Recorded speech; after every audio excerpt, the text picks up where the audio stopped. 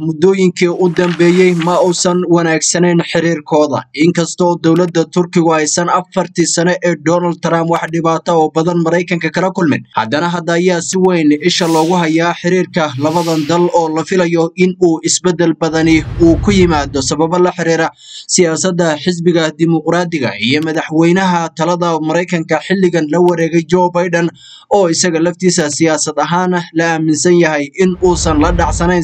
siyaasadda waddanka turkiga ee madaxweynaha rajab dayib erdogan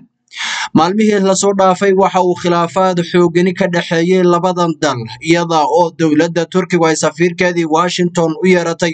sababo la xiriira kafadcelintii saddex iyo toban qof oo waddanka turkiga laga dilay qaabkii ay dowladda maraykanku uga hadashay oo labaclabac ahayd taasi oo dowladda turkigu aysan jeclaysanin iyada oo dowladda maraykankuna u hadashay qaab u muuqda xaydha jecli beerka jecli oo ay ku ilaalinayso calaqaadka turkiga. Sidoo kaleetana ay ku ilaalinayso calaqaadka ay la leedahay kooxda b k k oo dowladda turkigu ay u aqoonsan tahay argagixiso. Madaxweynaha waddanka turkiga rajab dayib erdogan ayaa waxa uu ka hadlay xilligan xiriirka u dhexeeya dowladdiisa iyo dowladda maraykanka danaha guud ee ka dhexeeya turkiga iyo maraykanka ayaa ka weyn khilaafkooda. Ankarana waxa ay doonaysaa in la wanaajiyo iskaashiga ay la leedahay washington. Madaxweynaha turkiga rajab dayib erdogan ayaa sidaasi yiri hadalkan ayaa u muuqda mid madaxweynaha waddanka turkigu uu kaga hadlayo xiisadii maalmahan taagnayd ee u dhaxaysay waddamada maraykanka iyo turkiga. Madaxweynaha turkiga waxa uu xusay in danaha ka dhexeeya ankara iyo washington ay ka miisaan culus yihiin kala duwanaanshahooda fikirka ka turki ahaan waxaan aaminsanahay in danaha guud ee aan la leenahay waddanka maraykanka ay aad uga miisaan culus yihiin kala duwanaanshaha xagga fikirka ee noo dhexeeya annaga iyo waddanka maraykanka. Waxa uu sheegay in uu kala duwanaansho fikir oo ballaarani meelaha qaarkood u dhexeeya dowladda maraykanka iyo dowladda turkiga waxa uuse aaminsan yahay in xiriirkooda iyo waxyaabo badan oo dana oo ka dhexeeya ay ka muhiimsan tahay in waxyaabahaas la faarfaaro oo la qodqodo iyada oo labada wadan ay waxyaabo badan ka wada shaqayn karaan. Rajab dayib erdogan madaxweynaha turkiga waxa uu ballan qaaday inay dhankooda sii wadi doonaan iskaashiga kala dhexeeya xukuumadda maraykanka turkigu waxa uu sii wadi doonaa in uu kaalintiisa ka qaato hanaan u qalma isbahaysiga iyo weliba iskaashiga istiraatiijiyadeed ee u dhexeeya labada dal.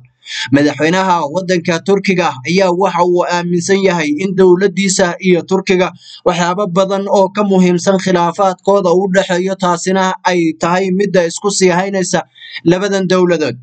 Marka la fiiriyo ururada ay ku wada jiraan inkasta oo ururka nato oo urur aad u salballaaran ay ku wada jiraan waxyaabo badan ay iskaashi ka leeyihiin dowladahan. Haddana dowladda maraykanka iyo dowladda turkigu muddooyinkii u dambeeyeyba iskuma ayna fiicnayn khilaafka ugu xooggan ee labadan dowladood waxa uu ka soo bilowday labada kun iyo lix iyo tobankii. Afgembigii dhicisoobay ee la doonaya in xilka laga qaado madaxweynaha waddanka turkiga rajab tayib erdogan taasi oo dowladda turkigu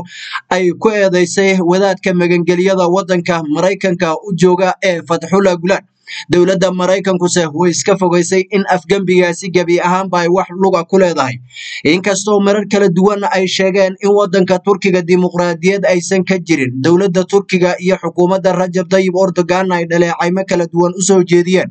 Haddana madaxweynaha xisbigiisa iyo xukuumadda ayaan dheg jalaq u siinin hadallada waddanka maraykanka